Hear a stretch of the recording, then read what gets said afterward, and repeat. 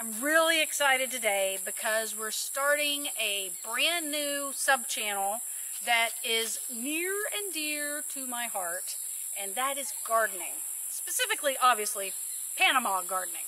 Now, when I lived in Los Angeles, I did a lot of gardening. You could find me on any given day at Lowe's searching through the clearance rack for the dollar plants that had wilted because someone hadn't watered them and I brought them all back to life, and we literally landscaped our entire one-third acre, woohoo, that, that was big back then, um, with clearance plants from Lowe's. I mean, literally at probably a 20th of the cost that it would normally cost somebody to do the landscaping that we did. So plants are near and dear to my heart. However, I, although I love plants, I don't know near enough about them as I want to. And, and a lot of times I just don't have enough time to do all the research that I want to do to, to learn more. I'm trying to change that here. Unfortunately, I mean, just within view of this camera, I have 10 times the number of species of plants on this property that I had in Los Angeles. And, you know, there's a whole 13 acres here. So there's a lot to learn. Most of the time when I'm learning something, it's because I just stumble across it and dive deep from there. And that is exactly what brings us to our first episode in the Panama Gardening Series, pineapples. Okay, I love pineapple. I've always loved pineapple. It's one of my favorite fruits. It's fairly cheap to buy here. I mean, you can get them like usually for like a dollar or a dollar fifty. Um, and I knew people grew them because when I was in Costa Rica several years ago, I was house sitting at a property and a Panama, and a, and a Panama, and a pineapple uh, ripened on the bush. And th this is how plant ignorant I am. I was like, oh my God, pineapples grow on a bush? I thought they would grow like on a tree or something. No, they grow on like a weird bush thing. All right, so this story begins when Brian and I were walking down this very sidewalk one day about two and a half months ago probably, and something red caught our eye. So if you kind of scan over here into these bushes, you'll see something red there. Now, the thing that we saw that was red was this, but it was bigger. And so I'll put the picture of it um, here in the video can, so you can see. Like right now, if I saw that, I would have no idea what it was. But when we saw ours, it was obvious that it was a pineapple, and I lost my pineapple mind. Okay, that baby pineapple, two and a half months later, is this pineapple. Okay? Uh, look, I think it takes a long time for these things to, uh, to mature and ripen. I forget exactly how long. I'll put it in the video, but it's a while. So that's the baby that you just saw in the previous picture, just about maybe two and a half months later. So at that point we realized, oh, well these are all pineapple plants here, and then Brian, uh, we had more pineapple plants up behind the house that were in a place where we didn't want them. So Brian moved them down here before we left for the United States. So they've been down here for what now, like seven weeks probably, seven or eight weeks? Uh, so seven or eight weeks, and they transplanted wonderfully. And the reason for this is because uh, I learned that pineapples have a very shallow root system. So you don't have to dig down too far. So if you have some where you don't want them, you just dig them up and move them somewhere else and it's not a problem. Okay, so that said, we're going to go through a whole thing of propagating pineapple because I really want to have a prolific pineapple plantation on my property. Okay, I've been practicing those peas for a while. All right, so there's a few ways to propagate pineapples. We're going to talk about them. And the first way that I did it is the way we're going to go look at first. So that's going to be up at the top of the property. Then we're going to come back down here and see another way to propagate, propagate pineapples. All right, so I'm going to show you how I started propagating my pineapples because that was even before I realized I had pineapple plants. Uh, but I knew from uh, research and talking to a few people that it was really easy to propagate pineapples just from the tops. And so that's what I started doing. So you take your pineapple when you're ready to cut it up and eat it, right? Uh, you take a sharp knife and then you just cut the top right off. like so. Okay, so you have it like that, right? Now, what you want to do though is take this, okay, look, different people have different ways of doing this. Some people cut it like this and then plant this just like this in the ground. All right, I'm doing mine a little bit different. Um, I'm actually taking mine off the, I'm taking this excess fruit stuff off of it. So, okay, to get to this. And then peeling off this kind of bottom set of leaves.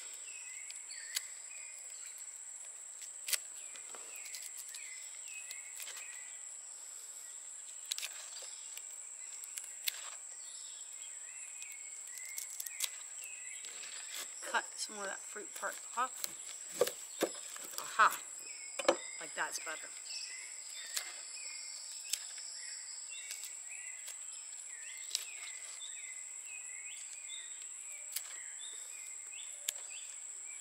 Now look, I'm sure there's some pineapple experts out there that are saying, oh my god, you're doing this completely wrong. Please leave a comment. Like I said, I don't know anything about this. I am not a pineapple farmer yet. This one has some kind of tough brown leaves around the edge. Usually they're pretty easy to get off. Those might have to stay. Actually, I'm going to go up a little further. Haha. All right. And then I'm going to peel from here. Ah, see how much easier that is? That's the way it's been working for me. Okay, that's better. Okay. So then I get kind of this nice little base sort of thing here. Haha. Then these awesome water bottles I've been repurposing for pineapple planting. The tops fit perfect in there, like literally every time. So that keeps it from evaporating so much because it's kind of a tight fit there. And but what you want to make sure is that the bottom of that pineapple is in the water. Okay? And then miraculously in about a few weeks see what we have here? They root. Okay, so then we're going to take this one, I'm going to set back up on the porch um, and let it, it, let it root. And then I have several of these toppings that are already uh, rooted really well. And we are going to go and create a pineapple plantation on my property.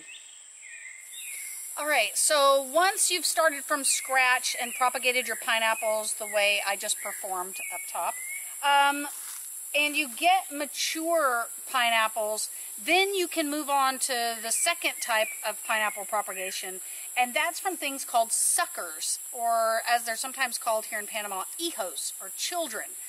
And basically they're pineapple babies, okay? Um, if you look at this pineapple here that is still maturing, you see these top stalks around here. There's one, two, three, four, uh, and there's another little baby around here is five. There's five of them. And they're growing, the, the pineapple itself, let me see if you can get in here and see. Can you see in here, Brian? So the pineapple itself is growing on this stalk right here, okay? So at the base, where this pineapple is meeting the top of this stalk, around the base, these suckers are connected right here. So the really great thing about the suckers as compared to cutting the tops off the pineapples is that these will mature and fruit for you in like half the time or less. Different websites give me different information, but from sucker, you're generally looking at anywhere from about 8 to 12 months. And from pineapple top, you're looking at like maybe 18 to 24 months before you get fruit. So as you see, if you can get these things off, that's the way to go. And actually, this is how commercial pineapple growers uh, propagate the pineapples for their farms is through these suckers because obviously they fruit much quicker.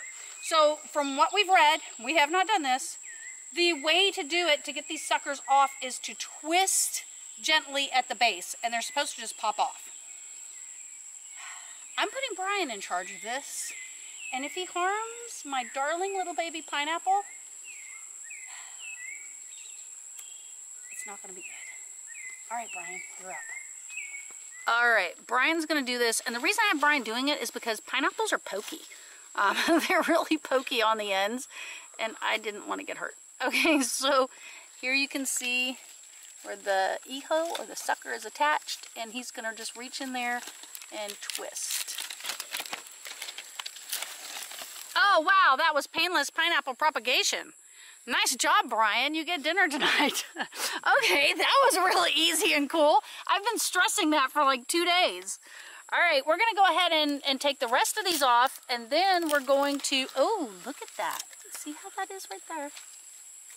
Okay, so we're going to take the rest of these off, and then we're going to go up top and complete this video. So as I always say, we have not explored every bit of these 13 acres that we own. I've never even been, I mean, I see this area all the time, but I've never been down here. But Brian was like, hey, come over here and look at this. And uh, he knew that there was another mini pineapple plantation that was here. So we have some more pineapple plants with uh, suckers on them here. And we have a baby there that hasn't quite yet made suckers. But you can see we have several plants here. So, I mean, we have a very prolific pineapple plantation here on the property that I didn't even know about. All right, so now we have our, uh, I have three pineapple tops that are rooted and the four suckers that we pulled from the mom plant back here.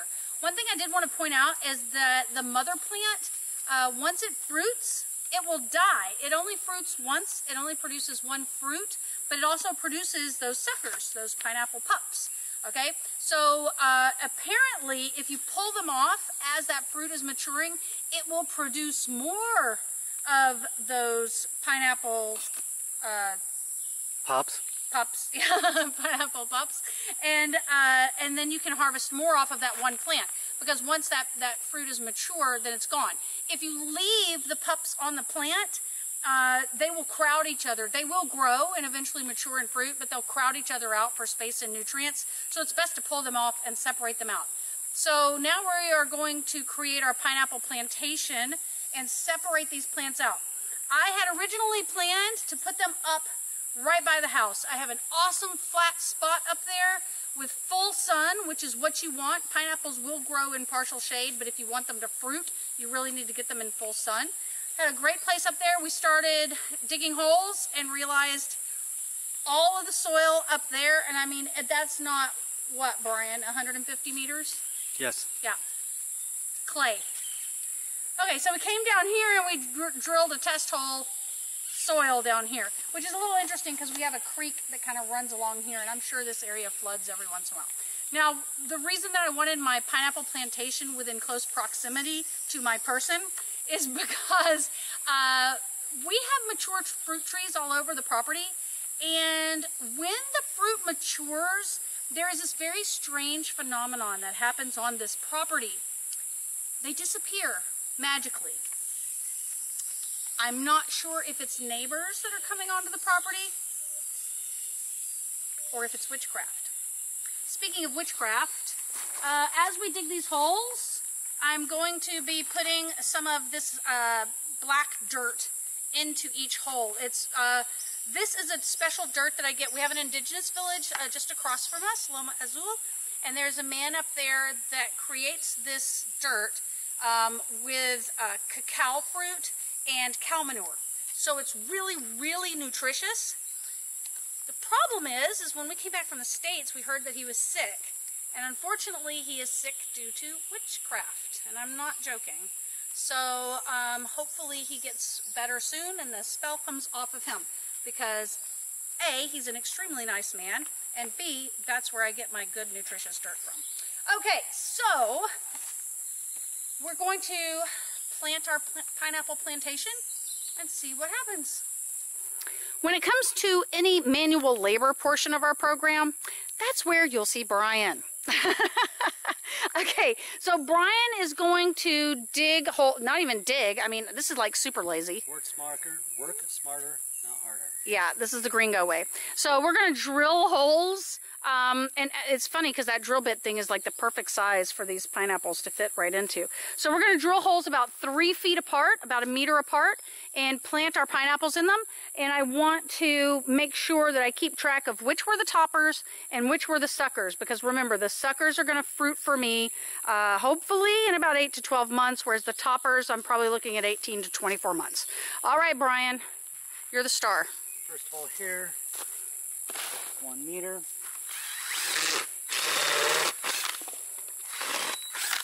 See how that makes a perfect little pineapple place? Look at that. It's brilliant.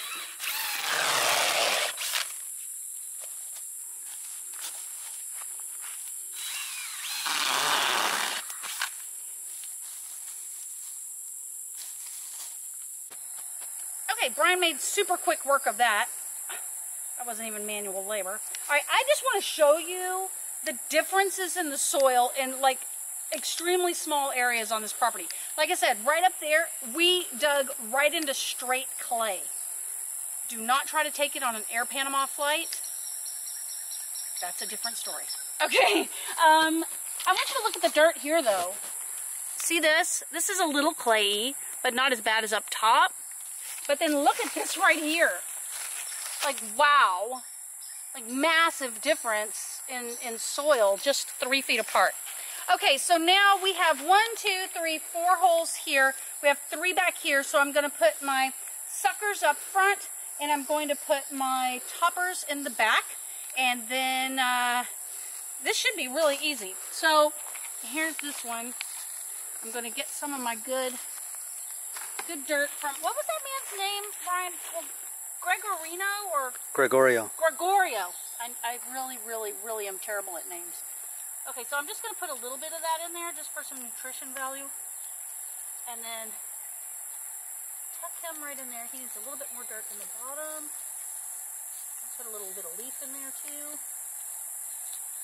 I am creating a compost pile and I'll do a video on that later, but it's nowhere near ready. Alright, so I'm just going to tuck that in there. And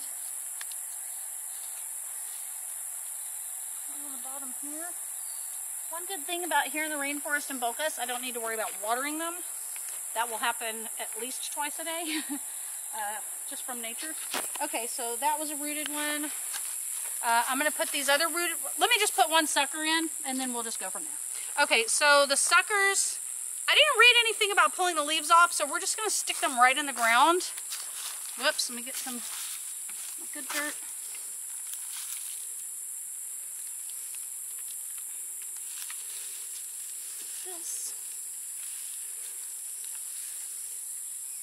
Okay. All right, I'm going to finish planting these and I'll come back and show you the finished product. Okay, I got the raw end of the manual labor stick on that one because planting them was way harder than drilling holes. But it wasn't even hard at all. I mean, this was the easiest thing I've ever planted in my life. So, we have them all in the ground. We have to wait quite a while, okay? Um, and then I'll do an update video if these guys ever fruit for me so you can see what happens. And we'll continue adding on. Uh, hopefully the mom over there will continue producing suckers and I'll pull those off and keep putting them in this area. We have the other baby that's starting to grow on the plant that's right next to it. So same thing, pull off suckers uh, and put them out here. So really the main things to remember when you're dealing with pineapples is uh, take off the suckers if you have a mature plant. That's going to be your fastest way. Uh, if you don't have a mature plant and you need to do it from toppings, cut the, the top off, peel back the leaves, put them in some water to let them root before you plant them. And have patience. Pineapples require a lot of patience. But the most important thing to remember about pineapples is when you plant them, always make sure you wear your pineapple pajama pants. Until our next episode, I'll see you on Friday.